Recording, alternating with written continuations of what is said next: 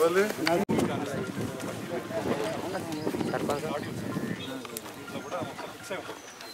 లో ఫిక్స్ చేస్తాను. దీనివల్ల ఏంటంటే మనం యూరియా తగ్గించుకోవాలి. ప్రతి గ్రీన్ మెన్యూర్ వేసిన ప్రతి ఒక్క రైతు కూడా ఒక half bag green manure urea తగ్గించుకోవాలి. మొత్తం నీళ్ళే ఉంటాయి. మొత్తం నీళ్ళే ఉంటాయి. ఇది ఒక నీళ్ళు నీరు వేసిన గుణం బాగా పెరుగుతుంది. అలాగే ఈ అసిడిటీ ఏదైనా ఉన్నా కూడా సాంద్రత ఏదైనా కూడా తగ్గిపోతుంది మెయిన్గా. ఇంకా నత్రజనితో పాటు ఇంకేం ఇస్తుంది సార్ మనకు భాస్వరం కూడా చాలా ఎక్కువనే ఉంది సార్ మన భూములలో.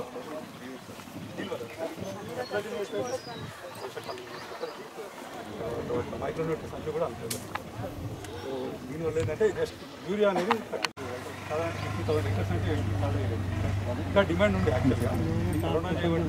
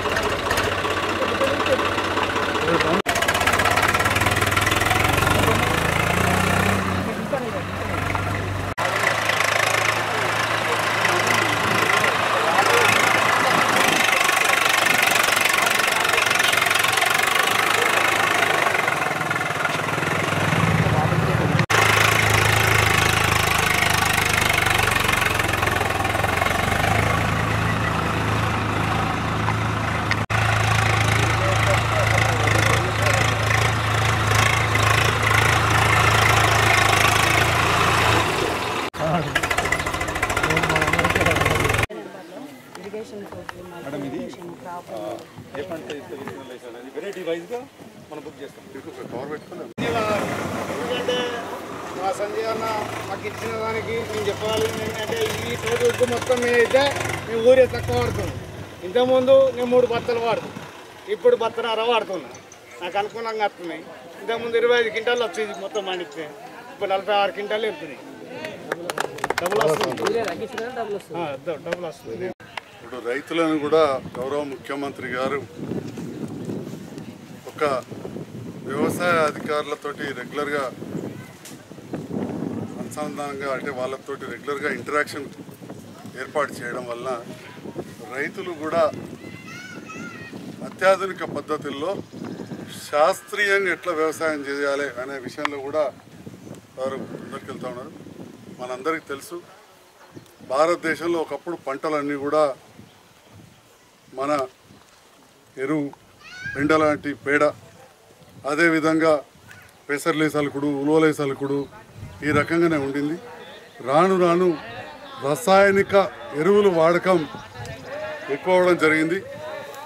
ఈ రసాయనిక ఎరువులు ఎక్కువ వేయడం వలన మన భూమిలోని సారం తగ్గిపోవడం అంతేకాకుండా ఆ రసాయనిక ఎరువులు మన తినే ఆహారంలోకి కూడా వచ్చేసి సరి అయిన పోషకాలు లేకుండా ఆహారం దొరుకుతుంది. అదేవిధంగా మనకేదో పల్లెటూరు భాషలు అంటారు మందులకు కూడా అయింది అని చెప్పి.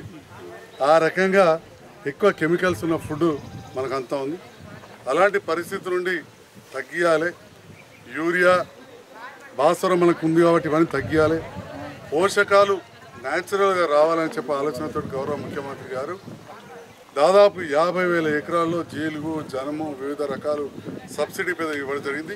ఇవాళ మన తమ్ముడు మల్లేశం గారు ఇక్కడ వ్యవసాయ అధికారుల సలహా మేరకు జీలిగేశ్వరి ఇప్పుడు చెప్తా ఉన్నారు. ఇప్పుడే చెప్పారు మీ అందరు కూడా మీడియా మిత్రులకు ఒకప్పుడు ఇరవై ఐదు క్వింటాలు వచ్చేటి కావు ఇవాళ నాకు నలభై క్వింటాలు దానికి వస్తుంది అని చెప్పి. ఎందుకంటే ఈ జీలుగా లోపల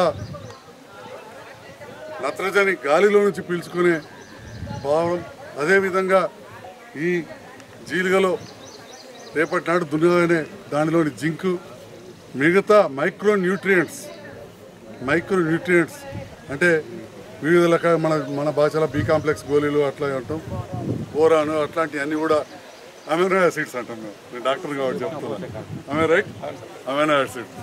So amino acids అంటాం.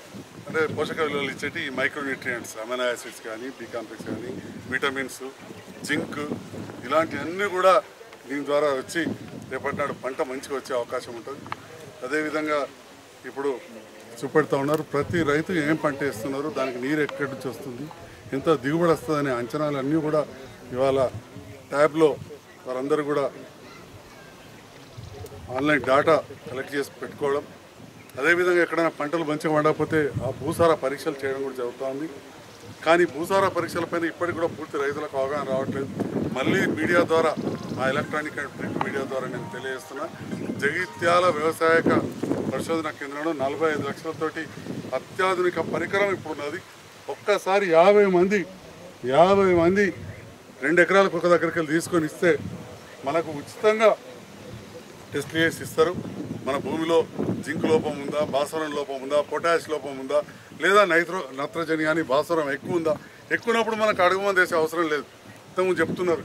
వేసినప్పుడు సగానికి సగం యూరియా తగ్గించుకోవచ్చు. భాస్వరం అయితే మన భూమిలో ఎక్కువ ఉంది కాబట్టి అది వేయకూడదు అని చెప్పి చెప్తున్నారు. ఈ రకంగా అత్యాధునిక పరిజ్ఞానాన్ని మనం ఏర్పాటు చేసుకొని మన గౌరవ ముఖ్యమంత్రి గారు ఏదైతే ఆకాంక్షిస్తున్నారో రైతు లాభదాయకంగా ఉండాలి లాభదాయకంగా ఉండాలంటే ఏదో ఒకటి పంటలు వేస్తే కాదు. శాస్త్రీయంగా పండియాలి.